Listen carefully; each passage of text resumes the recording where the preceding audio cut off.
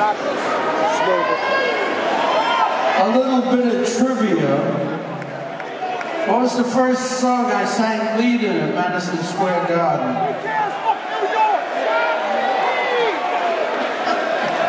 Come on, it's a no-brainer.